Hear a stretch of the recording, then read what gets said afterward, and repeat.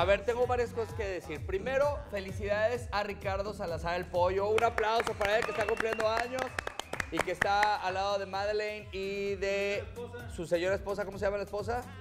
Evelyn, que es la hija del del pastor diabólico. Bueno, también felicidades a Julián González Mar, que cumplió años. Un aplauso. Ay, Julián no sabía. Julián cumplió ya bravo. 73 años y para él un, y para el pollo una vuelta de Mariana Varela en slow motion. No, esa fue la del pollo, es- ahora va la de A Julián. ver, vamos a ver, vamos a ver. Va la de Julián. Una, dos, tres.